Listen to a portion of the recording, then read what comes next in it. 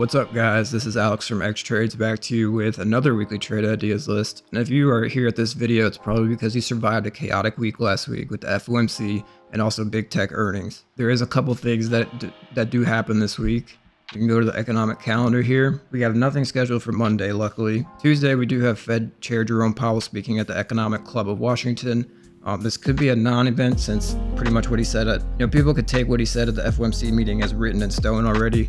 Um, he was pretty dovish. He didn't really give any hawkish tones that scared the market. Um, pretty much, he did exactly what was expected. They only did a 0.25 basis points hike, and we were hoping, you know, bears were hoping at least that you know he we would see him kind of, you know, put economic conditions, you know, back in place where you know where they should be with rate hikes, and you know through a rate hike rate hike cycle, which is normally, I mean, it's going to have pressure on earnings, it's going to have a pressure on the economy etc. You could just see, hear it in his voice. He's a little bit more optimistic about where we're headed. We're not seeing, you know, a tightening in the labor market as well as the inflation coming down, which kind of gives it that soft landing narrative, right? That, you know, everybody was hoping for. But other than Jerome Powell speaking Tuesday, we do have Fed Vice Chair Michael Barr speaking as well. Wednesday, we have more Fed speakers. We got John Williams, Fed Governor Lisa Cook. Um, we got Fed Vice Chair Michael Barr and the Atlantic Fed President Raphael Bostic. We also have Minneapolis Fed President Neel Kashkari, Fed Waller as well. So a bunch of Fed speakers. So I mean, be prepared to see you know some shiny headlines come out on the newswire. We have initial jobless claims, continuing jobless claims. Gives a little hint into the labor market. Another thing with the labor market, at the FOMC meeting, you could just see that Powell was pretty much kind of shrugging off the labor market. And maybe, you know, it didn't really matter that we haven't seen that dip, you know, in the labor market that you know everybody was hoping for to show that Fed policy is working. Because regardless, inflation is still coming down. We're barely seeing tightening in the labor market, and that does give the soft landing narrative you know that everybody's hoping for. We do have Friday, which I would argue this is the biggest economic data of the week. Uh, it's the consumer sentiment. This does give you know mid-session volatility about 30 minutes after the open. It always comes out at 10 o'clock on Fridays, so keep a lookout for that. We also have Fed Governor Waller speaking, another Fed guy, um, Patrick Harker speaking as well. But other than that, um, we do have limited event risk this week. So all the big tech earnings is out of the way. FOMC meeting is out of the way, which hopefully will give us a pretty good insight into how the market trend will go throughout here uh, from now on. Um, if Fed Powell doesn't want to talk back the market after interpreting a dovish Fed, we could see a continued rally. Um, if he does want to walk back and you know, put the market back in its place to, you know, where originally everybody thought it would be, uh, you know, it could be bearish. So I would say Powell Tuesday is probably the most, probably has the most, you know, event risk out of everything. Otherwise, big tech earnings are all out of the way. You know, the interest rate decision is made and uh, the FOMC meeting is out of the way. But let's go ahead and get into our first setup here. We're looking at UPS. Um, I really like how this is breaking out here. You can see we had asymmetrical wedge forming. You got your downtrend line, you got test one, test two, uh, made a test three, finally breaking out. One thing you do want to see UPS do here is uh, break and hold over 191.60. 191.60 comes from this pivot right here, where you see the red line marked and the red arrow. We want to see UPS getting over that, holding as new support, um, maybe even keep seeing the MACD holding a positive signal, which currently is in. If you zoom in here, this is a positive MACD signal. Your main level of focus, uh, just make sure it's holding outside of the breakout, make sure it gets over 190, 160 and holds and then you know that can maybe take you up to 296 which is this little peak resistance right here before having just a terrible sell off. Yeah that's ups looking at calls on that by the way. We do have an upside bias for ups here. Looking at calls. Next we're going into cvx if you tuned into the last video uh, we only had three setups but one we did have was XLE puts and that was because it pulled up in the supply. Um, and I think mainly XLE did pull back because you know CVX has such a big influence you know, being one of the top weighted names inside the XLE index. But this week, um, it is pulling directly into support at 166.83. 166.83 comes from this pivot right here, and we want to see it making a base here, maybe even reverse to the upside. So we see it reverse to the upside, you'd probably be looking for 50 EMA area, which you can see right here. This is the 50 EMA. Um, if it pulls up into the 50 EMA, you could probably look for short-term resistance about there and that's assuming it does make the base. So that'd be your first price target, just that short-term 50 EMA well, I can't even really say it's short term because this is the daily time frame. So, you know, the moving average is going back 50 days and implementing that into an average. That's your more medium term moving average. Your longer term is obviously your 200 EMA, which is this one in the bottom right here. Yeah, for CVX here, we're looking at calls. Uh, this would be a counter trend reversal play. You can see despite, you know, market redness, SPY down, QQQ down, we do have CVX holding up 0.26%, so it closed green. You can consider that relative strength. XLE was a relative weakness play, so we had oil down Friday, uh, broad market up, and that was a relative weakness play, maybe displaying a rotation out of energy and now you can see why our bear thesis on XLE did come into play and energy did sell off that week. One setup that didn't work last week was BOIL, which is a natural gas play. Um, it looked very oversold, but Monday morning, it instantly gapped down like 14%. So this is before, I mean, anybody could even enter, luckily. So hopefully everybody, you know, saw that 14% gap down, you know, thought twice, you know, before entering and looking for upside Because that did indicate, you know, very, very, very strong relative weakness. So um, that was one setup that didn't work last week. You know, they're not all going to work. You know, we did have XLE work out pretty good, and our index analysis was pretty good as well. So we'll get into that soon. But um, otherwise, CVX looking at calls 166.83 support, looking for a move up to daily 50 EMA. One thing you do have going against you, MACD is negative. If you're a skeptic, maybe wait for that to turn positive before, you know, trying to catch upside momentum. So this will be for counter trend traders looking to get, you know, a dip and buy low. Next, we're going into X. This is United States Steel, which had a crazy run, really nice rally um, probably due to U.S. steel soaring to highs. You can see down here in this little, you can see down here in this little newswire um, alert. U.S. steel soars to nine-month high as steel shipments seen rising this year. One thing I like about X here, overextended to the upside, pulling into the 61.8% retracement. If you aren't familiar with the 61.8% uh, retracement, it is called the golden ratio. And when you're measuring Fibonacci levels in a downtrend, the 61.8 is usually a very strong resistance point. And you could see that in this FXI example here, retraced all the way back, hit the 61.8, strong resistance for about a you know week or two. We go into HYG, which is high yield corporate bond ETF. You can see the same thing. You get a downtrend, we measure down from high to low, pulls up into the 61.8, strong resistance for about a week or two. So I just want to show you why X here can see resistance. Um, it's pulling up into the 61.8. You got a strong seller's wick. And you can see our two points are just from this, you know, 52 week high, or maybe it's an all time high, you know, down to this recent low. And you can see why I got this huge seller's wick because um, I just pulled right into the 61.8, which is usually a strong resistance point for people to take profit. Go down to the short term, you can see clear resistance, probably algorithms, other traders, you know, just responding to the 61.8% retracement. So I really like X here for puts. Price targets, you'd obviously be looking, you know, maybe back down to the 50% retracement. Um, you can even be maybe a little more conservative than that if you wanted to, just go down to the shorter time frames. Or maybe you could use this level right here this previous resistance at 28.91 as a short-term price target. I don't care how you do it, you know, just make sure you're not, you know, shooting all the way down for lows or something because um, markets can change instantly. So mo mostly for projections on swing trades, I'm looking, you know, for you know short-term moves, like something I could you know hold for a couple days, maybe a week or two, and then you know get out because I'm more of a short-term trader, as are a lot of people. Because um, then you can just use that cash you made and implement it into a different sector or idea. But yeah, X. Looking at puts on this, clear 61.8% retracement rejection with a strong seller's wick. You do have the MACD going against you. You do have a positive signal here, so keep an eye out on that. Stop loss would need to be over this high. ARKK, looking at the same thing. So with our 61.8% retracement thesis, you can see hold up in the 61.8, pretty much had strong resistance at the 200 EMA as well right here.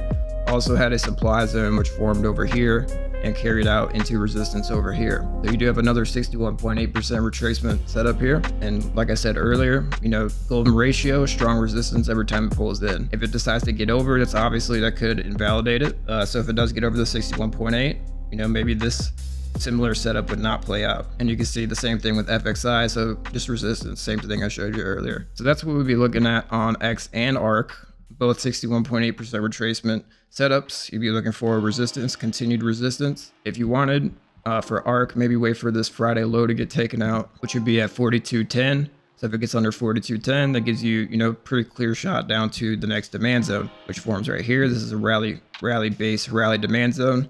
So you could see it, you know, get down to there and try to base out about there. And that's at about the $40 range. So ARKK, looking at puts. Next, we're going into PDD, a Chinese ticker. You see it formed a rising wedge, is now breaking the uptrend. You got test one, test two, multiple tests here, another test right there, and finally starting to break down. Ideally, you'd see it move down to 89.36, comes from that pivot low right there. I could just see it now coming down to that area. Probably try to base out about there or maybe hold up the 50 EMA as a general area of support. We type in FXI, which is the ETF for Chinese large caps. You can see a similar setup, which could also validate the bear thesis. And if you guys aren't up, up to date with the news, we did shoot down a Chinese spy balloon, apparently. Not sure if that will heat up relations between US and China, but it is something to consider considering, you know, the CCP did respond and say that, you know, they could respond in a similar fashion and shoot down something of ours.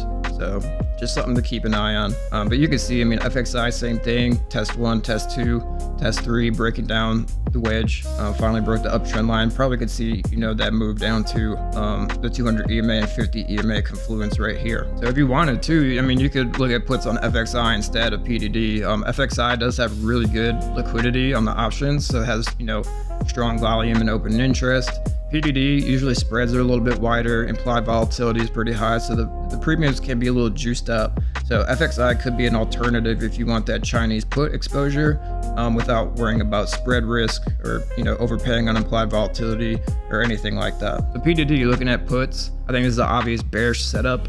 Um, you can see a lot of other high, you know, high growth names uh, kind of hitting local resistance and starting to sell off. I mean, we did have a looking at my main watch list of 220 names you see right here, there was a lot of red across the board. So just something to keep in mind. We could see a down Friday, down Monday, pretty much carry over into Monday's open. So you just have to be careful. You can see the dollar is up a little bit, and we'll get into that because there is something interesting happening in the dollar. So we'll go over the five again. UPS, we're looking at calls. Um, we've got that wedge breakout. It's pretty nice to the upside, relative strength compared to the SPY um, and QQQ on Friday. CVX pulling into a local support, looking for calls on that, make a base on that support. X pulling up to, into 61.8% retracement. ARKK also doing the same thing, looking at puts on both of those uh, due to the 61.8% retracement um, rejections. PDD or FXI if you want to do that one instead. Chinese tickers uh, breaking out of the uptrend line or the rising wedge, whatever you want to call it, and could see minor resistance down to, you know, 8936, uh, FXI that 50 EMA and 200. So two calls, three puts, and I would say all have a pretty good thesis behind them technically. Next, we're going into the SPY, going into the indexes here. So you can see uh, SPY finally broke that 410.49, just shot straight up for a day or two. Now finding resistance at this Jackson Hole supply. So this supply zone came from when Jerome Powell spoke at Jackson Hole. A bunch of Fed members, they go out to Jackson Hole, Wyoming they maybe they have a ski trip or something, but they you know do talk economics and they do broadcast that from Jackson Hole. And on this day, Powell said the word pain so many times, which I think triggered a lot of algorithms, uh, scared a lot of Wall Street, you know, into thinking that the Fed's gonna pretty much, you know, go balls to the wall on tightening. So this resulted in a huge sell-off I think that's why we could be seeing small resistance here because it finally tested that Jackson Hole supply. Your main level of focus this week for SPYs, obviously 410.49, the same thing as last week, which is this resistance. If you wanted to get under that resistance again, um, that, that could be bad and it could have flushed down to demand. Um, we want to see it making a base here for the bulls if you really wanted to be bullish um, on that 410.49, make new support, and then um, be able to clear the supply to get up to 431 peak. So 410.49 will be your main level of focus if we open up below that Monday. I think you have a really good case for, you know, day trading puts. If it wants to make a base off 410.49 at the open or if it wants to reclaim it, that gives you a really good, you know, day trade for calls back up to supply short term. We are at a little inflection point here. Last week you did get your trigger over 410.49 that gave you a nice trade for calls and did stop a lot of bears out even too because 410.49 was a huge resistance and you can see the squeeze did happen. But I mean, instantly we sold off. I'm not sure if that's because of the the Chinese news or if it was just because of all the bad economic data we did get on Friday. We had like non-farm payrolls and we had uh, some others as well, and that made the dollar skyrocket. I mean, I'm talking over 1%, which was just insane because we were still rallying and bouncing up, which totally confused a lot of people. We even had 10 year yields up and other yields as well just straight skyrocketing with the dollar. A lot of people, uh, with myself included, were so sketched out Friday that the market was still rallying on high yield side dollar. Some people, you know, didn't even take a trade, which rightfully so was a good idea because we did end up selling off. If you go intraday here, despite the high yields in dollar, market still bounced really hard. Eventually did form a multi-top and sold off very hard. And this could be contributed to the Chinese balloon situation. But uh, who knows? It could just be, you know, just all supply and demand and, you know, people taking profits and getting out, starting to hedge after a massive rally. Or, or, it could be news based and just you know straight panic. But otherwise, for SPY, like I said earlier, that 410.49 is in focus. You want to see it staying over that or getting under that. Me personally, I'd like to see it get under 410.49 just because we are starting to get a little overextended to the upside. Maybe pull into demand where we could buy the dip, you know, about down here at the 402s, 403s, or something like that. So just watch that 410.49 and uh, especially this Jackson Hole supply, which is obviously clear resistance, at least on the short term. Next, we're going into QQQ, and if you tuned in last week, we were covering this downtrend line. We just said QQQ looked really good here, more favorable than the ES or the SPY. And the reason was because on the on the QQQ and on the Nasdaq futures, they both had that confirmed downtrend break instead of kind of struggling at the line. There was just a clear break, and that's pretty much why we concluded that tech was having a way better, way better week than you know just regular broad market. You know, tech was just absolutely exploding to the upside. Another thing that was helping tech, you know, pretty much blast off was this 296.88 once it got over 296.88, you could see the squeeze just started to go crazy. So that 296.88 was our level of focus last week. We said we needed to get over that and as well the 200 EMA to get more upside. It was able to do that. You did have the downtrend line breakout uh, in your favor. You had the MACD in your favor. So great week for bulls. And uh, hopefully, you know, somebody saw this and, you know, was able to make a little bit of money on tech. So this week, your levels of focus, obviously still that 296.88. Needs to stay over that to hold the structure. But then you do have this 311.08. So this 311.08 was a CPI day. CPI report did come out on this day and had crazy strong resistance. This might have been, I'm sorry, this was from the day before. So this is from the day before that CPI print in September leading to this gnarly gap down. So we can see why this 311.08 had a pretty hard struggle because you do have this large sell imbalance. So you have this huge green day leading straight to a very large sell imbalance and you can see why maybe you know people are taking profit of this area because they don't want to get caught in something similar if there is another sell imbalance to the downside. So for me um, despite you know being in an uptrend and breaking out of this line short term i feel a little bit more bearish on qqq I did buy some puts 40 days out at the starter position. I did one contract, you know, at 800 bucks, you know, something around that. So I do want to see short-term resistance on this. If you're more of a short-term trader, you want to see it get under Friday's low at 304.54. You don't even have to mark it on your chart. You'll, you'll know when it gets under 304.54 that, and if you see it flushing with volume, you know, that's a good, good sign to get puts and maybe day trade. But otherwise for swing traders, you, you know, same thing. You want to stay under 311.08 and you do want to see that move down to 296.88 for a back test. We'd probably do something like this, come back, back test, make a base off that previous resistance right here. That's your two levels of focus. You have that 311.08 and the 296.88 that we had last week, which is resistance. Next, we're going into the IWM. So this is my more favorable setup for the indexes. And this is purely because of this inverse head and shoulders or cup and handle pattern. Um, we did say once it got over 189.86, you had a clear shot to 193s. 193s came from this supply, which is also the Jackson Hole supply, similar to SPY. So this is a supply from the Jackson Hole speech. You can see why we said once it got over 189.86, it had all that free space and you know sell imbalance to fill back up into supply. And it even broke through that. So this ex exceeded my price target, which is really nice uh, for small mid caps. I can't really be any more bullish until it gets over 202, uh, which is the supply. It's a rally based drop supply zone. Pretty gnarly one too. So we need to see it get over that. Otherwise, you can see resistance up here. If it does come up and test this, you can see it, you know, rejection straight off um, naturally. So IWM, uh, maybe just wait for it to get up to supply if you want to, you know, day trade puts or take a put swing trade, because uh, it could have a little bit more space before it does tap the supply. Bulls, if you really wanted to go long this, just wait for it to get over that that 202.50. That is your level of focus this week. Uh, if you do want to catch upside, make sure it gets over that 202.50. You know, have a stop loss, you know, under 200 or something or if it does decide to go back into supply, that could be your stop loss as well. Not really the cleanest setup this week because it did break out of the pattern already and, you know, gave a nice little rally you know, to where now it could lead to a little cooldown or a little bit of consolidation. But otherwise, for IWM, if it did pull back, you'd obviously maybe see a, you know, pull back back into the resistance area, but try probably try to back test about there and hold up as a base. So yeah, personally, I, I don't really see a position on this one this week until it gets up into supply or wants to break over that. Um, if it gets into supply, shows clear rejection, you obviously have the green light for puts. If it wants to get over to a 250, you do have a short-term breakout trade, even though that would be a little bit overextended and maybe a little risky to chase up there. Uh, you would get that green light, you know, to see some more bullish momentum if it got over that. Next, looking at the VIX. This is the volatility index. So last week we had this 18 level that needed to get cleared under if you wanted to see a more of a rally in the market.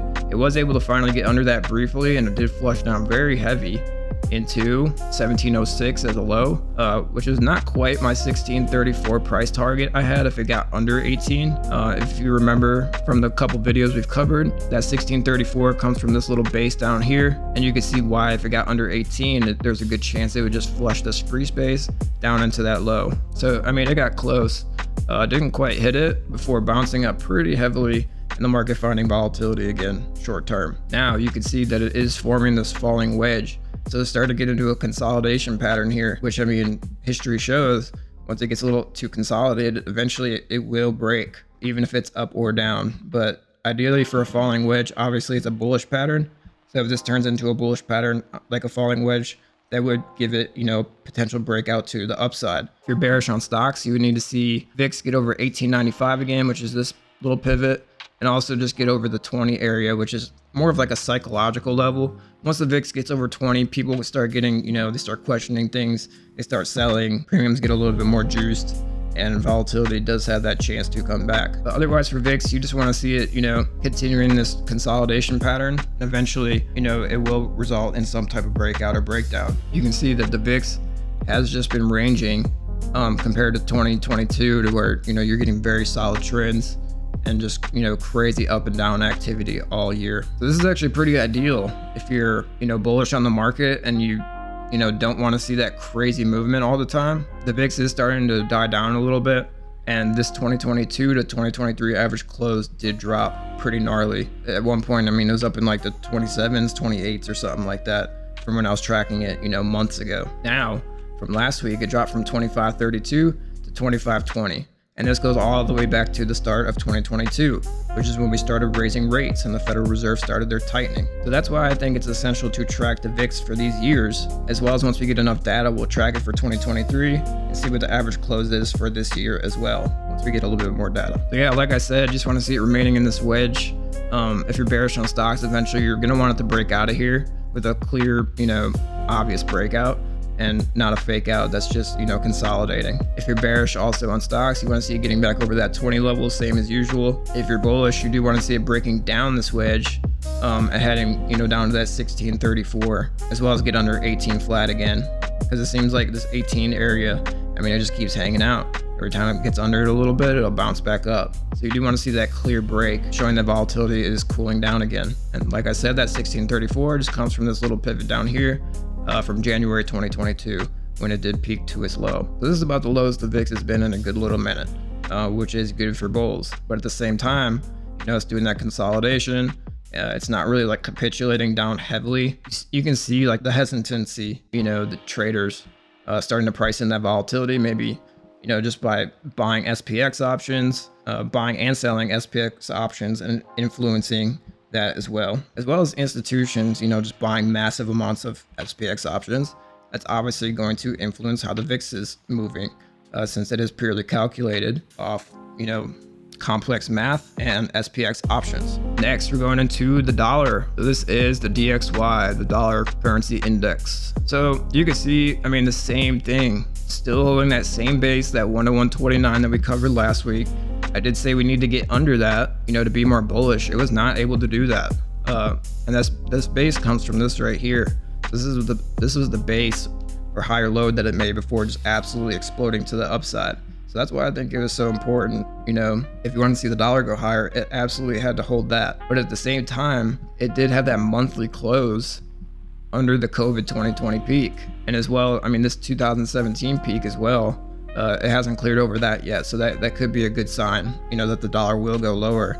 But for now, it's holding that base, that 101.29, and it doesn't look like it's ready to break it yet. Um, this is a pretty nice bullish, you know, hammer, some type of reversal candle on the weekly that could give us a little hint up to at least this little 50 EMA at 104s. Or if we go down to the daily, it's most likely going to tap one of these moving averages, either reject off that 50 or come up to this 200 right here uh, and maybe find resistance about there. You can see that there's also a strong resistance at this 105.63. Uh, had a pretty hard, you know, peak out right there and did sell off. So ideally, you know, if you do want to see stocks go lower, you do want to see that continued volatility in the currency markets see the US dollar come up to 104s, 105s, and you know, stay over that COVID 2020 peak. If you are bullish on the market, this is not ideal that it keeps holding this 101.29. And you can see why I've been saying that. Um, it was not able to stay under that. And once it bounced back up, we got the econ data to match it. Uh, dollar soared because it stayed over there that 101.29 base.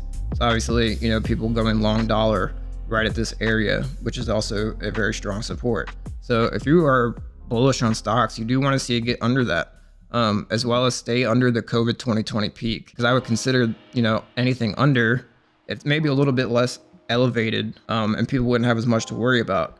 If it's, you know, getting over and staying, you know, mid 2020 level or 2022, the 2020 levels, I mean, that's still considered an elevated dollar, in my opinion. You do want to see it getting back under that. In my opinion, the Fed really didn't say anything too hawkish, but either way, they're going to keep the rates up higher for longer, like they said.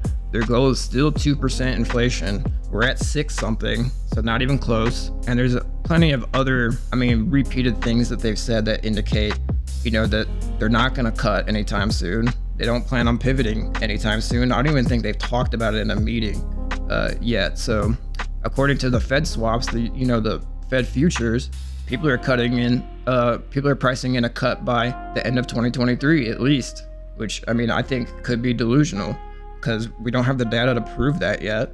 Uh, yeah, inflation is coming down at a rapid pace, but until we get to that two percent goal, I really don't see them, you know, making that decision anytime soon. So the question is, are bulls delusional? Hmm, could be, but at the same time, you do have to consider that the market is forward looking and they're trying to price in the future. I think we've just started to see maybe some of the, the consequences from, you know, elevated rates like, you know, earnings contractions. We haven't seen any consequences in the labor market yet, which hopefully we won't. But I mean, history does show us that, you know, the labor market doesn't, you know, usually come down, especially, you know, from this rapid pace of rate hikes. So I guess we'll have to see. Maybe the soft landing narrative is still intact.